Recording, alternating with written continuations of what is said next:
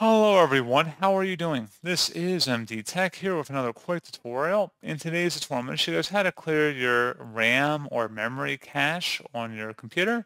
So while RAM itself does not have an exclusive memory cache, it does host multiple programs and applications on your computer that are run in the background in the cache file.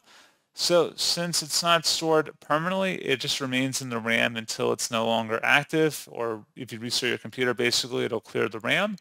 However, if you want to do this process without actually having to restart your computer, in today's tutorial I'm going to show you guys how to do it. And without further ado, let's go ahead and jump straight into it.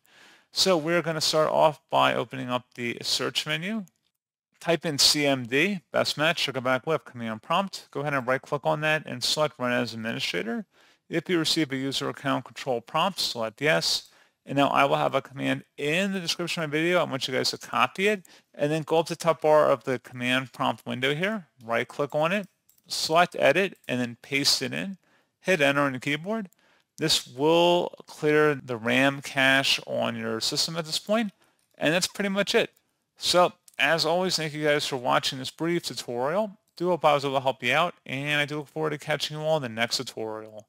Goodbye.